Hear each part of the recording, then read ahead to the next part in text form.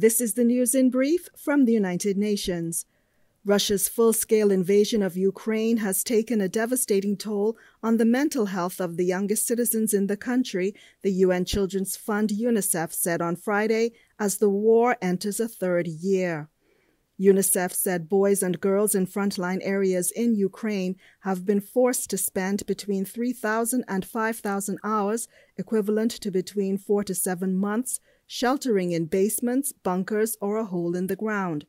Here's the agency's James Elder, who's in the city of Kharkiv, where he has been speaking to families and child psychologists around three quarters of young people have recently reported needing some sort of psychological or emotional support. A fraction of those are getting it. So the ongoing shelling, the increased use of drones, all this is building into an awareness that children continue to be killed. And so it's hindering families' capacity to overcome the deep stress and trauma inflicted by this war.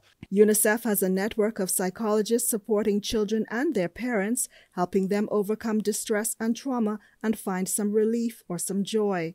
This is just part of its operations in Ukraine, which also includes supporting the rebuilding of critical infrastructure such as schools and water systems, thousands of which have been damaged or destroyed in attacks. A new report by the UN Human Rights Office, OHCHR, details horrific violations and abuses by both sides in the war in Sudan, where fighting continues to spread. The Sudanese Armed Forces and a rival paramilitary group known as the Rapid Support Forces, or RSF, have been battling since April 2023. The report found that both sides have carried out multiple indiscriminate attacks in densely populated areas, including sites sheltering internally displaced people, particularly in the capital Khartoum, as well as in Kordofan and Darfur. UN Human Rights Chief Volker Turk said the report underlines once more the dire need to end the fighting and to break the cycle of impunity that gave rise to the conflict in the first place.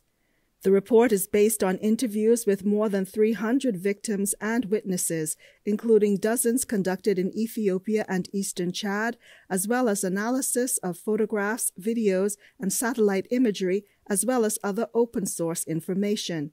It said that both warring parties used explosive weapons with wide area effects, such as missiles fired from fighter jets, unmanned aerial vehicles, and anti aircraft weapons and artillery shells in densely populated areas.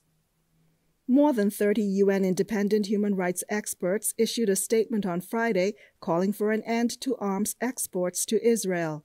They said any transfer of weapons or ammunition to Israel that could be used in Gaza is likely to violate international humanitarian law. They noted that all states must ensure respect for international humanitarian law by parties to an armed conflict in accordance with the Geneva Conventions and customary international law. The experts have welcomed the recent decision of an appeals court in the Netherlands, which ordered the government to halt the export of F 35 fighter jet parts to Israel, citing a clear risk of serious violations of international humanitarian law. They added that the need for an arms embargo on Israel is heightened by the International Court of Justice's ruling last month that there is a plausible risk of genocide in Gaza. The group of experts who issued the statement were all appointed by the UN Human Rights Council and serve in their individual capacity, independent of the United Nations and national governments. They are not UN staff and do not receive payment for their work. Dianne Penn, UN News.